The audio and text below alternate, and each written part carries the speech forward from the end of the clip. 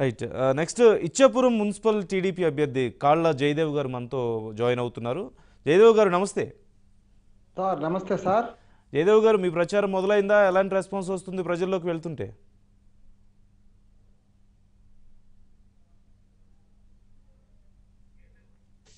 Sir అంతకన్నా ముందు మహా న్యూస్ వారికి నాకు ఈ అవకాశం ఇచ్చినందుకు ధన్యవాదాలు తెలియజేస్తున్నాను సార్. యూ వెల్కమ్ అండి. చాలా మంచి కార్యక్రమం సార్. అభినందనలు నా తరపున మీకు. సార్ ప్రజలైతే చాలా బాగా స్పందిస్తున్నారు సార్. ప్రస్తుతం ఉన్న ప్రభుత్వం ఏవైతే కార్యక్రమాలు చేస్తుందో దాని మీద పూర్తిగా అసంతృప్తితో ఉన్నారు సార్.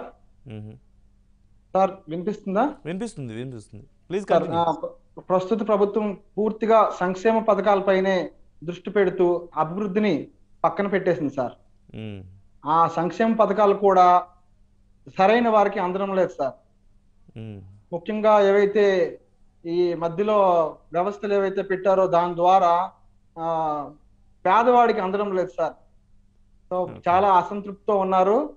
మళ్ళీ ఇక్కడ ఇచ్చాపురం మున్సిపాలిటీ వచ్చేసరికి తెలుగుదేశం పార్టీ ఇక్కడ మళ్ళీ మున్సిపల్ కౌన్సిల్లో అక్కడ వస్తే చైర్పర్సన్ టికెట్ వస్తేనే మళ్ళీ అభివృద్ధి వస్తుందని ఒక ఆశతో ఉన్నారు సార్. ఓకే. ఇచ్చాపురం మున్సిపాలిటీ ఏర్పడినప్పటి నుంచి ఇప్పటి వరకు ఐదు సార్లు ఎలక్షన్ జరిగింది సార్. దాంట్లో పంతొమ్మిది వందల ఎనభై ఏడులో మొదటి ఎలక్షన్ అయింది సార్. ఓకే. అప్పటి నుంచి ఇప్పటి వరకు తొంభై ఐదు నుంచి రెండు వేల సంవత్సరంలో తెలుగుదేశం పార్టీ ఏర్పడింది సార్. తెలుగుదేశం పార్టీ యొక్క కౌన్సిల్ వచ్చింది చైర్పర్సన్. అది మా అమ్మగారు కాళ్ళ వెంకటలక్ష్మి గారు చేశారు సార్. అప్పుడు ఏదైతే అభివృద్ధి కార్యక్రమాలు చేశారో ఇప్పటికీ కూడా అక్కడతో ఆగిపోయింది సార్ ఇచ్చాపురం మున్సిపాలిటీ. మరి పెద్దగా చెప్పుకోలేకపోతున్నారు సార్. తర్వాత ఏవైతే కాంగ్రెస్ ప్రభుత్వం అయినా సరే ఆ గత ఐదు సంవత్సరాల్లో వైసీపీ పాలన అయినా సరే ఇక్కడ మున్సిపాలిటీ వచ్చేసరికి ఎటువంటి అభివృద్ధి కార్యక్రమాలు చేయట్లేదు సార్. ఇప్పుడు కూడా బేసిక్ ఫెసిలిటీస్ అందించడంలో పూర్తిగా విఫలమయ్యారు సార్. అందువల్ల ప్రజలందరూ ఇచ్చాపురం మున్సిపాలిటీ నుండి మళ్ళీ ఇక్కడ తెలుగుదేశం పార్టీ వస్తేనే అభివృద్ధి వస్తుందని అన్ని వర్గాల వారు ముఖ్యంగా మైనారిటీలు కోరుకుంటున్నారు సార్. సో చాలా బాగా స్పందన వస్తుంది సార్. మేము ప్రజల్లోనికి వెళ్తుంటే చాలా బాగా రిసీవ్ చేసుకుంటున్నారు. ఇక్కడ మళ్ళీ తెలుగుదేశం రావాలి ఖచ్చితంగా అనేసి మంచి ఆ ఉత్సాహంతో ఉన్నారు సార్. మాకు చాలా ప్రోత్సహిస్తున్నారు సార్. అవన్నీ చూస్తుంటే మాకు చాలా సంతోషంగా ఉంది. ఓకే. మరింత ప్రోత్సాహం వస్తుంది. ముందుకు పోతున్నాం సార్. ప్రజల్లోకి వెళ్తున్నప్పుడు మీకు స్పెసిఫిక్గా ఏదైనా విషయాల గురించి కంప్లైంట్ చేయడం విషయంలో కానీ లేదంటే డిమాండ్స్ విషయంలో కానీ ఎలాంటి రెస్పాన్స్ వస్తుంది? ఏ ఏ విషయాల్లో కంప్లైంట్ చేస్తున్నారు? ఎలాంటి పనులు కావాలని చెప్పి వాళ్ళు అడుగుతున్నారు రేపు గెలిచిన తర్వాత? ప్రజలు ఏమంటున్నారంటే ముఖ్యంగా ఇక్కడ పురుషోత్పురం అమీన్ సాహెబ్పేట అదే బోర్డర్ అంటారు సార్. వాళ్ళకి ఏంటంటే వాటర్ ఫెసిలిటీ లేదు సార్. మూడు వార్డులు సార్ అవి. ఒకటి రెండు పిఠాపురం మున్సిపాలిటీ మొదలయ్యిందే అక్కడ నుండి సార్. వార్డు రెండో వార్డు మూడో వార్డు సార్. మన యాక్చువల్ మున్సిపాలిటీ కాదు sir. Sorry for interruption Jayadev garu ఒక్క నిమిషం. Please please hold on line Zakir garu please మీ దగ్గర నుంచి ఎక్కువగా నాయిస్ వస్తుంది నాకు లైవ్లో మీరు కొంచెం సైలెంట్గా ఉండండి. మీతో నేను ఒక రెండు నిమిషాల్లో మాట్లాడతాను. నా మాటలు వినిపిస్తున్నాయి మీకు? జాకీర్ గారు. యా రెండు నిమిషాల్లో మీ దగ్గరికి వస్తాను Zakir garu. Please please hold on line and please be quiet నేను వేరే అభ్యర్థితో మాట్లాడుతున్నాను. ఒక రెండు నిమిషాల తర్వాత మీతో మాట్లాడతాను. జయదేవ్ గారు ప్లీజ్ కంటిన్యూ సార్ ఆంధ్రప్రదేశ్ వచ్చేసరికి ఇచ్చాపురం నుండి ఒరిస్సాకి ఆంధ్రాకి మన ఇచ్చాపురం బార్డర్గా ఉంటుంది మీ అందరికి తెలుసు. సో అక్కడ పురుషోత్పురం నుంచి స్టార్ట్ అవుతుంది సార్. ఒరిస్సా ఎండ్ అయిన తర్వాత మన ఆంధ్ర పురుషోత్పురం అమీన్ సాహెబ్పేట నుంచి స్టార్ట్ అవుతుంది. అక్కడ నుండి మనకి వార్డ్స్ అన్నది మన ఆంధ్రప్రదేశ్ ముఖ చిత్రం ముఖద్వారం సార్ అది. సో అక్కడ మినిమం వాటర్ ఫెసిలిటీ లేదు సార్. అది చాలా సిగ్గుచేటు సార్ మనకి. ఓకే. ఆ సో మనం వాళ్ళకి ట్యాంకుల ద్వారా వాటర్ సప్లై చేయాల్సి వస్తుంది సార్. ఓకే. అది చాలా పెద్ద సమస్య సార్ ఇక్కడ ముఖ్యంగా. నెక్స్ట్ రోడ్స్ రవాణా వ్యవస్థ అయినా సరే ఆ రోడ్స్ అవి బాలేవు కాలువలు ఎటువంటి ఎటువంటి డెవలప్మెంట్ యాక్టివిటీ జరగట్లేదు సార్. పూర్తిగా సంక్షేమం మీద పడ్డారు సార్. సంక్షేమం. అవసరమే సార్. కాదని అనడం లేదు. కానీ అంతకన్నా ముఖ్యంగా డెవలప్మెంట్ అన్నది ముఖ్యం సార్. మనము ఫ్యూచర్ని దృష్టిలో పెట్టుకొని వెళ్ళాలి. మన పిల్లల భవిష్యత్తు అంతా చూసుకొని వెళ్ళాలి సార్. సంక్షేమం కేవలం సంక్షేమం మీదే పడ్డారు సార్. ఇప్పుడు ప్రస్తుతం ఉన్న పాలకులు. అది మంచిదే సార్. కాకపోతే అది కూడా అందరికి చేరుతుందా లేదా? సరైన వారికి పేద వారికి ఎవరికి చేరారో వాళ్ళకి చేరుతుందా లేదా అన్నది అనాలిసిస్లో ఫెయిల్ అవుతున్నారు సార్. అది దాని మీద దృష్టి పెట్టాలనేసి నేను మా ఇచ్చాపురం తెలుగుదేశం పార్టీ తరఫున పెద్దలు వర్యులు జగన్మోహన్ రెడ్డి గారికి కోరుకుంటున్నాను సార్. ఓకే.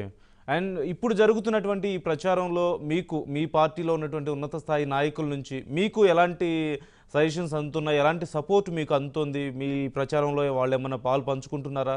ఎవరెవరు మీకు సపోర్ట్గా నిలుస్తున్నారు?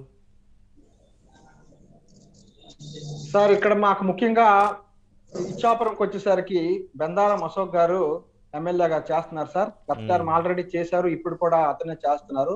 చాలా యువకుడు చాలా ఉత్సాహవంతుడు ఫుల్ ఎనర్జీ లెవెల్స్తో పనిచేస్తున్నారు సార్ అతను. మా అందరికి అతనే వెనకుండి ప్రోత్సహిస్తున్నారు. సార్ ఈ రోజు మేము ఇచ్చాపురంలో ఇంత కాన్ఫిడెంట్గా ఇరవై మూడు వార్డుల్లో ఇరవై వార్డులు మాకు వస్తాయని గట్టిగా కాన్ఫిడెంట్గా చెప్పగలుగుతున్నామంటే అతని ప్రోత్సాహం.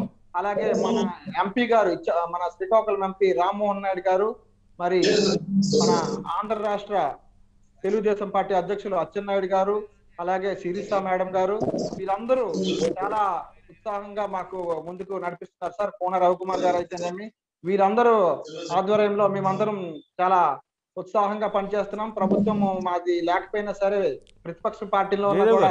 ఏ రోజు కూడా మాకు ఇది ఫీలింగ్ రాలేదు సార్. వాళ్ళంతా దీనిగా మాకు ప్రోత్సహిస్తున్నారు సార్. యా జయదేవ్ గారు ఒక ఒక టూ మినిట్స్ మీరు లైన్లోనే ఉండండి. నేను ఈ లోపు ఒకసారి జాకీర్ గారితో మాట్లాడొస్తాను. కర్నూలు జిల్లా నంద్యాల నుండి షేక్ జాకీర్ హుస్సేన్ గారు జాయిన్ అవుతున్నారు మనతో వైఎస్ఆర్సీపీ మాజీ కౌన్సిలర్. ప్రస్తుతం ముప్పై నాలుగో వార్డులో వార్డు నుంచి పోటీలో ఉన్నారు. జాకీర్ హుస్సేన్ గారు నమస్తే. నమస్తే సార్. ప్రచారం మొదలైందా? మీ ప్రచారం ఎలా జరుగుతోంది? ప్రజల నుంచి ఎలాంటి రెస్పాన్స్ వస్తుంది? సార్ ప్రచారం అంటే ఇంకా మొదలు కాలేదు సార్. మూడో మూడో తేదీ విత్డ్రాల్స్ అయితే కాబట్టి అప్పటి నుంచి ప్రచారం జరుగుతుంది సార్. ఓకే.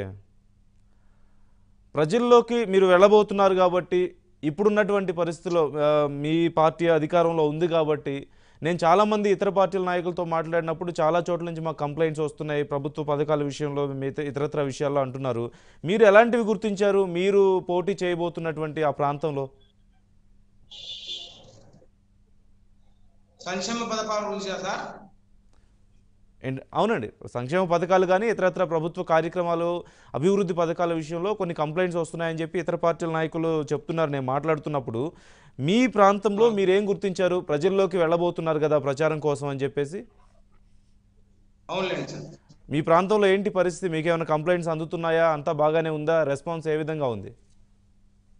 మా ప్రాంతం అయితే కంప్లైంట్స్ అయితే సంక్షేమ పథకాలలో అమ్మఒడి కార్యక్రమం అయితే ఏమి లేకుంటే చేయుద్దా మరి ఇలాంటివి కార్యక్రమాలు అన్ని కూడా మరి అన్ని ఆన్లైన్ చేయడము. ఏదైనా ఉంటే టెక్నికల్గా కొద్దిగా ప్రాబ్లం వస్తుండే కానీ ఆ టెక్నికల్ ప్రాబ్లం ఏమనేది చూసుకొని వెళ్ళిపోతే సరిపోతుంది సార్. ఓకే. ప్రజల నుంచి మీకేమైనా రిక్వెస్ట్లు వచ్చాయి? ఎప్పటి వరకు మీరు మాకు ఈ పని కావాలి ఒకవేళ ఎన్నికల తర్వాత ఈ ఈ పని చేసి పెట్టండి అని చెప్పి ఏమైనా రిక్వెస్ట్లు మీకు వచ్చాయా? లేదు సార్. ప్రస్తుతానికి సంక్షేమ పథకాలన్నీ సజావుగా అందుతున్నాయి మరి ఎలక్షన్ల తర్వాత మేము అది చేస్తాం ఇది చేస్తామని చెప్పేది కాదు. Hmm. ఈ రోజు రాష్ట్ర ప్రభుత్వము మన గౌరవ ముఖ్యమంత్రి గారు చేసే పథకాలన్నీ కూడా ప్రజల్లో గుండెల్లో వెళ్ళిపోయినాయి అందుకని వారు ఈ గత మనము చూసుకున్నట్లయితే ఈ ఒక సంవత్సరం పది నెలల కాలంలో వారికి సంక్షేమ పథకాలు ఎల్లేనివి వాళ్ళకు అందించడం జరిగింది. అంతేకాకుండా మనకు ఒక పది నెలల నుంచి కరోనా మహమ్మారి ఉన్న కాలంలో కూడా మరి ఇంత ప్రజల మీద దృష్టి పెట్టి ప్రజలకు ఏం కావాలనేది తీసి రేషన్ ఇచ్చి వాళ్ళకు మళ్ళీ ఒక వెయ్యి రూపాయలు డబ్బులు ఇవ్వడము అలాంటి టైంలో కూడా ప్రతి సంక్షేమ కార్యక్రమం కూడా ఆపకుండా ఎక్కడి నుంచి నిధులు తెస్తున్నారు ఏం కదా అని చూడకుండా ప్రజలందరూ ఎక్కడి నుంచి తెస్తున్నారు ఎలా చేస్తున్నారు అని ఒక మంచి ఉద్దేశంతో ప్రభుత్వం మీద పబ్లిక్ అంతా పెట్టుకొని ఉన్నారు సార్. ఓకే. మీ ముప్పై నాలుగో వార్డుకి సంబంధించి మీరేమైనా సమస్యలు గుర్తించారా? రేపు ప్రజలకి మీరేమన్నా స్పెసిఫిక్గా వాగ్దానాలు ఇవ్వబోతున్నారా? నేను గెలిస్తే ఈ పని చేసి పెడతాను అని చెప్పి ప్రజలకి ఏమైనా చెప్పబోతున్నారా? ఆ చెప్తున్నాం సార్. ఏ ఏ విషయాల్లో మీరు వాగ్దానాలు ఇస్తున్నారు ప్రధానంగా? మేము ఇప్పుడు హౌసింగ్ హౌసింగ్ సైట్ల గురించే ఇస్తున్నాం సార్. ఎందుకంటే హౌసింగ్ సైట్ ఆల్రెడీ ఆన్లైన్ అయిపోయినాయి. శాంక్షనింగ్ మా వార్డుకు దగ్గర దగ్గర ఐదు వందల హౌసింగ్ సైట్స్ పట్టాలు శాంక్షన్ అయినాయి సార్. దాంట్లో కొంతవరకు ఇప్పుడు ఈ తెలుగుదేశం నాయకులు కేసులు పెట్టినందుకు అవి కొద్దిగా నిల నిలబడి ఉన్నాయి సార్. ఈ టిడ్కో హౌసెస్ మాత్రము ఇచ్చినాము. ఇవి కంప్లీట్.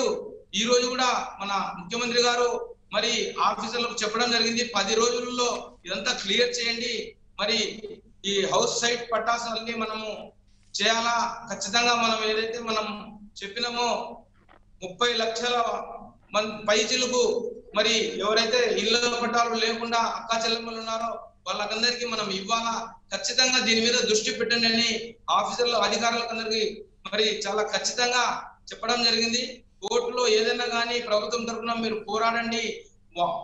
ఇది ఈ కార్యక్రమము చాలా మంచి కార్యక్రమం ఎవరైతే మరి గూడు లే- గూడు లేకుండా ఉన్నారో వాళ్ళకు మనము ఖచ్చితంగా ఇవ్వాలని చెప్పి ముఖ్యమంత్రి గారు చెప్పడము. ఆ కార్యక్రమాన్ని మాత్రము మేము తీసుకొని పోయినాము. కేసులో ఉండేటివి మాత్రము ఉండే వాళ్ళకు అంగీకార పత్రాలు వాళ్ళకి ఇవ్వడం జరిగింది. దాని తర్వాత ఉండే సైటు ఇది కేసు అయిపోతానే అందరికి ఇవ్వాలని ఒక సదుద్దేశంతో రాష్ట్ర ప్రభుత్వం ఉంది కాబట్టి దాని మీద మేము చెప్పడం జరుగుతుంది. ఓకే. మీ స్థానికంగా ఉన్నటువంటి నాయకుల నుంచి మీకు సపోర్ట్ ఎలా ఉంది? మీకు సపోర్ట్గా ఉన్నారా? ప్రచారం విషయంలో కానీ మిగతా విషయాల్లో అన్నింటిలో మీకు బాగానే ఉందా? దేవుని దయ బాగానే ఉంది సార్. ఇప్పుడు మా ఎమ్మెల్యే గారు ఇక్కడ శిల్పా రవిచంద్ర కిషోర్ రెడ్డి గారు అలాగే గౌరవ ఎంపీ గారు మాకు గతంలో నుంచి కూడా మేము ఇక్కడ కౌన్సిలర్లో పనిచేసినాం కాబట్టి ఖచ్చితంగా మాకు వారి సహాయ సహకారాలు ఉన్నాయి. అలాగే అభివృద్ధి విషయంలో అయితేనేమి ఇంకొకటి సంక్షేమ విషయంలో ఏ సమస్య వచ్చినప్పటికీ టెక్నికల్ ప్రాబ్లమ్స్ ఎక్కువ వస్తున్నాయి కాబట్టి ఆ సమస్య వచ్చినప్పుడు వెంటనే మరి మేము దృష్టికి తీసుకోవడము అది తగిన ఆఫీసర్లతో లేదంటే జాయింట్ కలెక్టర్ గారి చేతుల మీద ఎక్కువ ఉంటున్నాయి కాబట్టి వారి ద్వారా ఆ సమస్యలు తీసుకొని పోవడము మరి దాన్ని పరిష్కార విధంగా చేసుకోవడం జరుగుతుంది sir. Right thank you so much Sheikh Zakir Hussain garu నాతో జాయిన్ అయ్యేందుకు అండ్ uh, ఎన్నికలకు మీకు ఆల్ ది బెస్ట్ ఇక uh, జయదేవ్ గారు కంటిన్యూ చేద్దాం. మీరు uh, ఇందాక చెప్తున్నారు స్థానికంగా కొన్ని సమస్యలు ఉన్నాయి. ప్రభుత్వం అనుసరిస్తున్నటువంటి విధి విధానాల వల్ల కానీ లేదంటే సంక్షేమ పథకాలు పూర్తిగా ప్రజలకు అందే విషయంలో కూడా కొన్ని సమస్యలు ఉన్నాయి కంప్లైంట్స్ ఉన్నాయంటున్నారు. మీ పర్టికులర్గా మీ ఇచ్చాపురం మున్సిపాలిటీకి సంబంధించి ఇప్పుడు మీరు స్పెసిఫిక్గా ప్రజలకి ఏ ఏ విషయాల్లో వాగ్దానం చేస్తున్నారు ఏం పనులు చేస్తామని చెప్తున్నారు? సార్ ఇందాక నేను చెప్పినట్టుగా ఇచ్చాపురం మున్సిపాలిటీలో ఏవైతే ఒకటి రెండు మూడు వార్డులు ఉన్నాయో వాళ్ళకి వాటర్ సప్లై లేదు సార్ ప్రస్తుతానికి.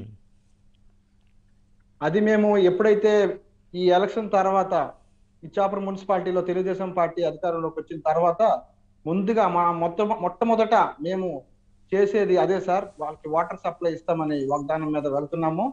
అలాగే ఏవైతే రోడ్స్ అయినా సరే కాలువలు కాలువ అయినా సరే ఏవైతే డెవలప్మెంట్ ఎక్కడితో ఆగిపోయాయో ముందు ముందున్నంత నుంచి ఈ ప్రభుత్వం వచ్చిన తర్వాత ముందు ప్రభుత్వం ఎక్కడైతే చేసిందో అక్కడితో ఆగిపోయింది సార్. ఎక్కడ కూడా అక్కడక్కడ ఏవో ప్యాచ్ వర్క్ చేశారు కానీ పూర్తిగా పడలేదు సార్. అవన్నీ కంప్లీట్ చేసి డెవలప్మెంట్ వైపు మేము తీసుకువెళ్తామని వాగ్దానం చేస్తున్నాం సార్.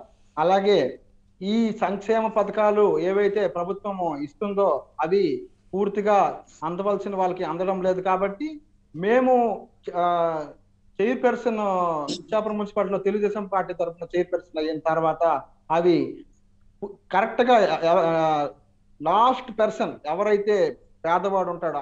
ప్రతి ఒక్కడికి అందేలాగా మా తరపున మేము చేస్తాం సార్. ఇవన్నీ చెప్తూ ముందుకెళ్తున్నాము.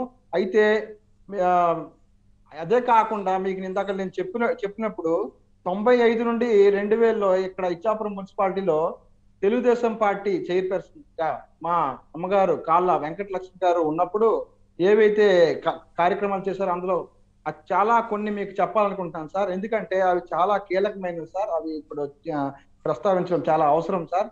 మనకి అప్పుడు తొంభై ఐదో సంవత్సరంలోనే రెండు వేల ఇరవై ఐదు పాపులేషన్ని దృష్టిలో పెట్టుకొని ఏదైతే పాపులేషన్ ఉంటారో వాళ్ళని దృష్టిలో పెట్టుకొని ఆ మున్సిపాలిటీ ఓవర్ హెడ్ ట్యాంక్ నిర్మించారు సార్. సుమారు నలభై ఐదు లక్షల రూపాయలు ఖర్చుతో ఆ ఓవర్ హెడ్ ట్యాంక్ నిర్మించారు సార్.